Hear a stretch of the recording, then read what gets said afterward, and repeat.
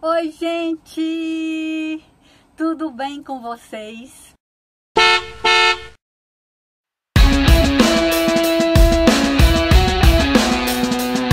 Tava aqui arrumando a casa e deixa eu falar uma coisa pra vocês, esse negócio de arrumar a casa é bem rapidão. A gente chega, resolve fazer uma faxina na casa, fica tudo limpinho, tudo lindinho, tudo maravilhoso em meia hora. Sim, aí tava, tinha terminado de arrumar a casa aqui, aí eu falei, vou aproveitar que a casa tá limpíssima, tudo arrumadinha e vou gravar um vídeo para mostrar as mudanças que a gente fez no motorhome. Muitas, muitas dessas mudanças foram feitas com o patrocínio da Lapome, Éder e Eva, que me deram ideias, que fizeram algumas coisas e cada dia essa casa tá ficando mais ajeitadinha. Inclusive vou deixar o link aí embaixo da da Lapome para vocês conhecerem. É uma loja de produtos personalizados feitos artesanalmente, de um bom gosto impecável e Lapome é referência na área de personalizados. Então visitem, conheçam. E agora eu vou mostrar para vocês tanto as coisas que eu fiz por fora, como as coisas. Vou começar mostrando as coisas que eles fizeram pra gente, patrocinando nossa viagem, tá bom? Então bora lá. Ah, antes de um bora lá, deixa eu falar uma coisa. É, aqui eu procuro mostrar a vida realmente como ela é.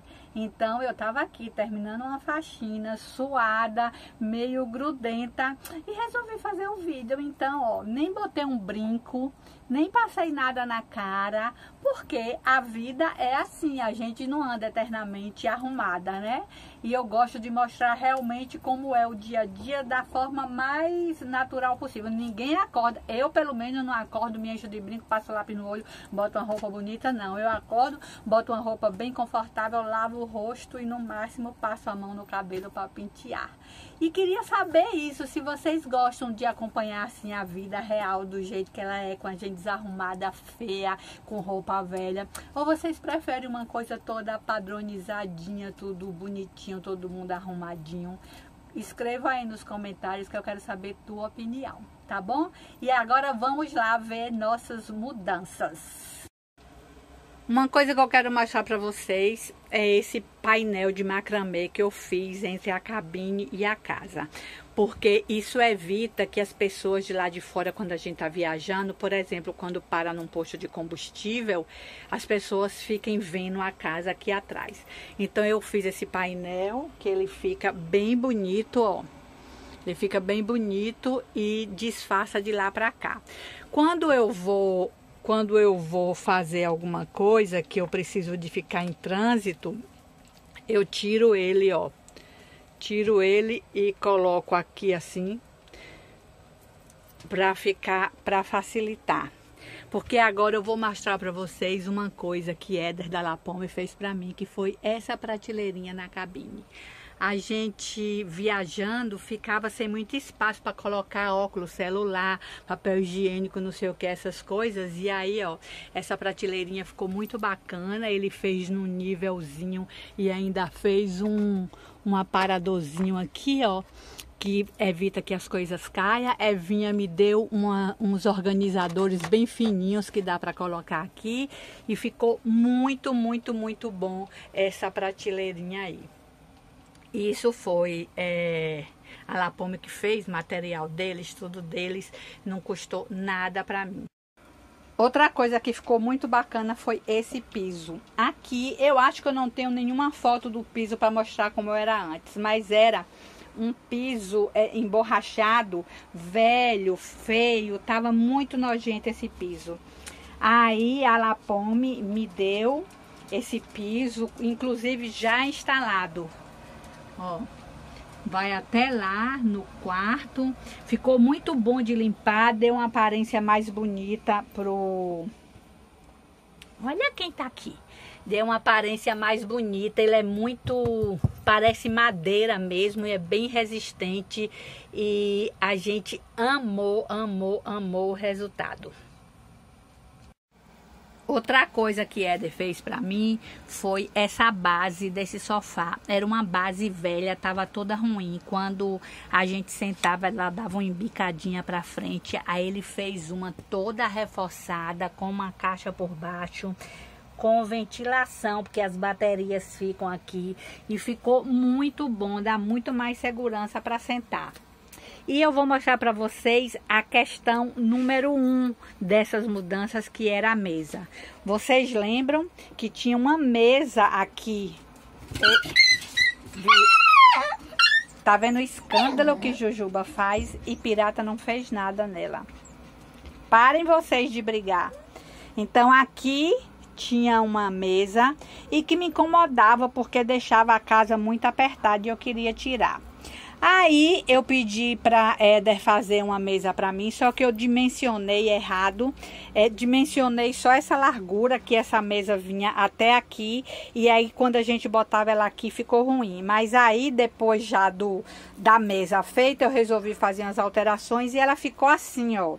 Porque aqui ela desmonta, ela fica encostada aqui quando a gente não tá usando ou ela fica assim na hora que precisar sentar e até serve de apoio.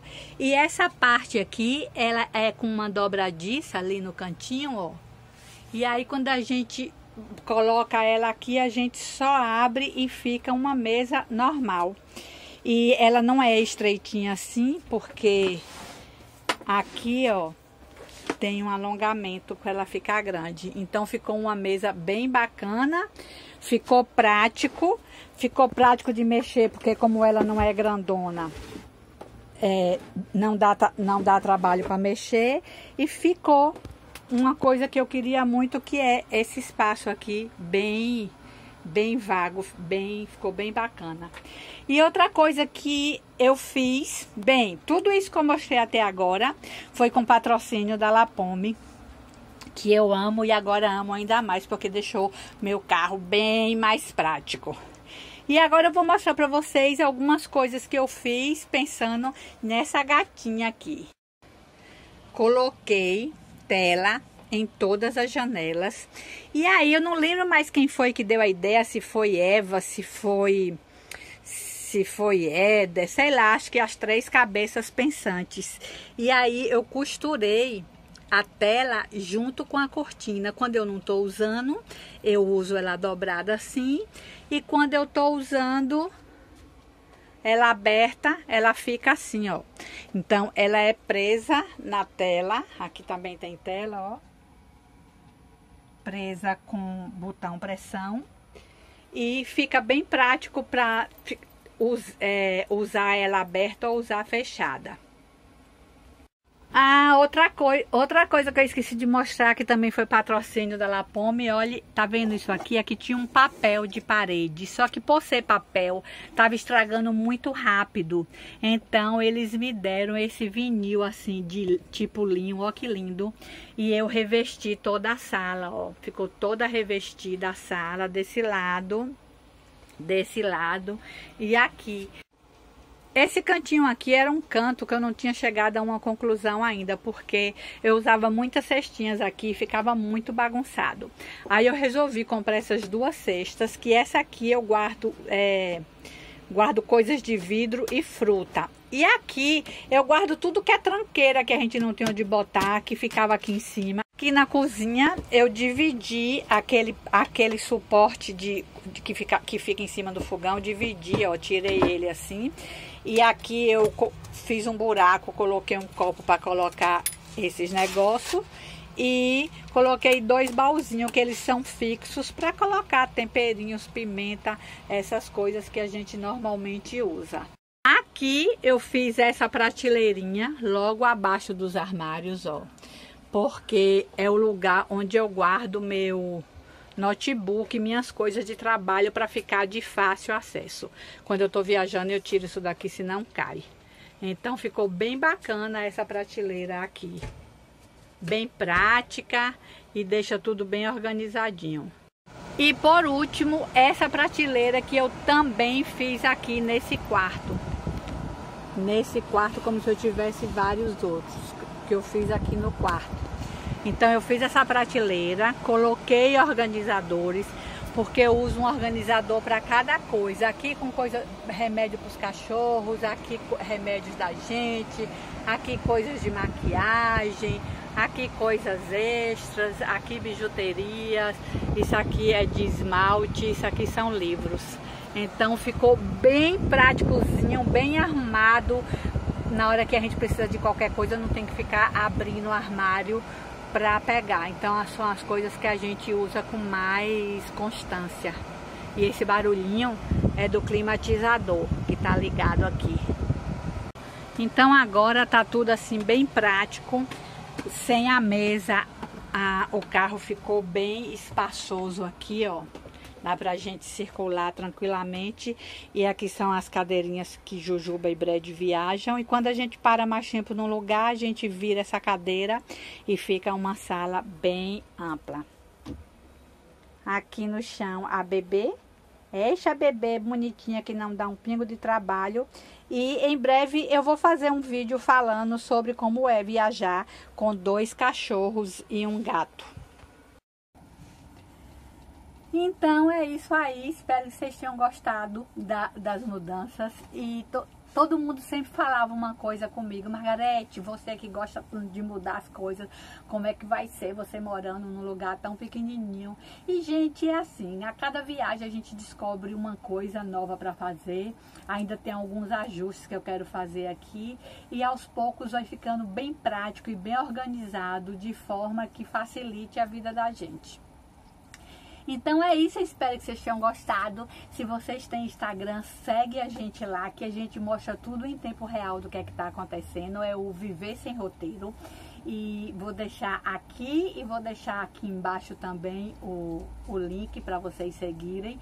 É, no nosso site também a gente tem um diário dos lugares que a gente passa, o que a gente achou, como é que estão as estradas. E se você gostou, clique em curtir é, se você não está inscrito no canal, clica aí, se inscreve e ativa o sininho de notificação para você não perder nada e compartilhe essa nossa aventura com seus amigos nas redes sociais, tá bom? Um beijo bem grande para vocês e tchau!